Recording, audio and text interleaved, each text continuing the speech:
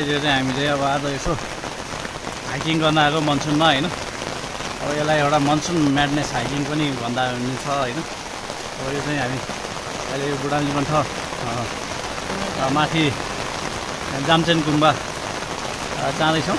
र यो चाहिँ अहिले। छाता नभएपछि यस्तै हो। अ, यो सब यो मनसुनको पनि हाइकिङमा एउटा मनसुनको पनि एक्सपिरियन्स लिँदैछौँ। तर भ्यू चाहिँ एकदमै दामी देखिरहेको छ यो। तर अब यो वर्षायामको समयमा होइन अब एकदमै जोखिमपूर्ण छ। यस्तो जोखिमपूर्ण यात्रा चाहिँ अब नगर्नु होला तपाईँहरू। र हामी चाहिँ तपाईँहरूको लागि भनेर यसो दुःख गरेर एउटा भिडियो बनाएर हिँडिरहेछौँ। लाइक गरिदिनु होला सेयर गरिदिनु होला।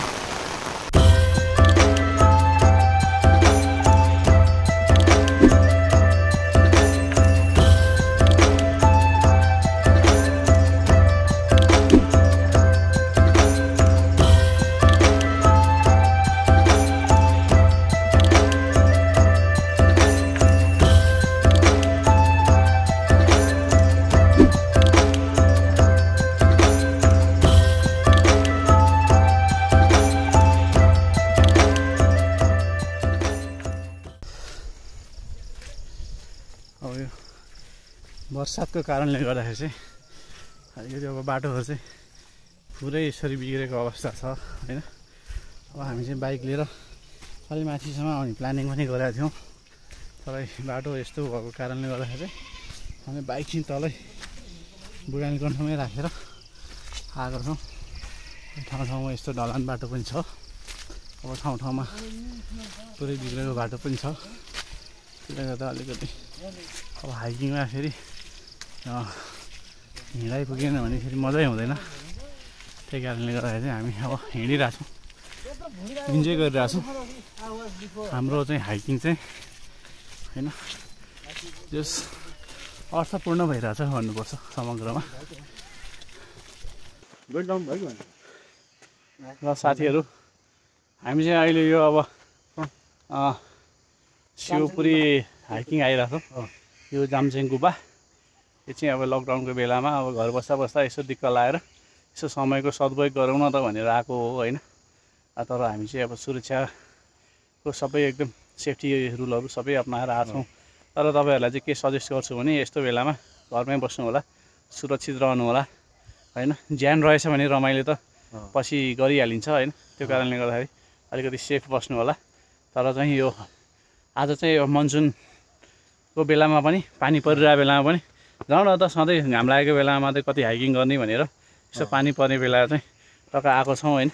तर एकदम एक्सपिरियन्स चाहिँ नयाँ पनि भइरहेछ रमाइलो भइरहेछ। तर पानी परिसकेपछिको खुलेको वेदर जतिको चाहिँ रमाइलो चाहिँ कुनै बेला पनि नदेख्दो रहेछ। यो चाहिँ काठमाडौँ होइन भ्याली चाहिँ एकदम क्लियर हेर्नु मन छ भने चाहिँ तपाईँहरू चाहिँ आफ्टर रेन चाहिँ आउनु होला। एकदम बेटर हुन्छ है।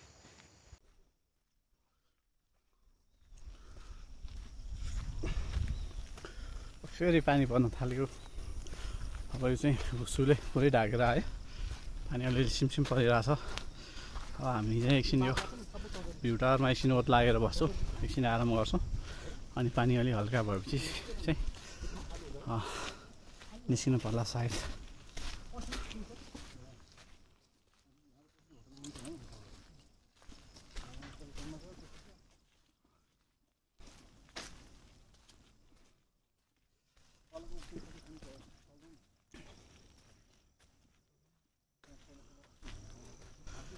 ल।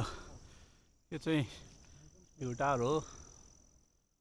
है। यो चाहिँ अब निजी प्रपर्टी रहेछ। यहाँनिर चाहिँ एउटा रिसोर्टको प्रपर्टी रहेछ होइन। तर पनि यहाँबाट चाहिँ मजाले भ्यूहरू चाहिँ इन्जोय गर्न सकिन्छ। हामी चाहिँ अब यो अलिकति अब पानी पनि पर्नु लाग्यो होइन। त्यो कारणले गर्दाखेरि चाहिँ अब हामी चाहिँ अब यो फर्किँदैछौँ।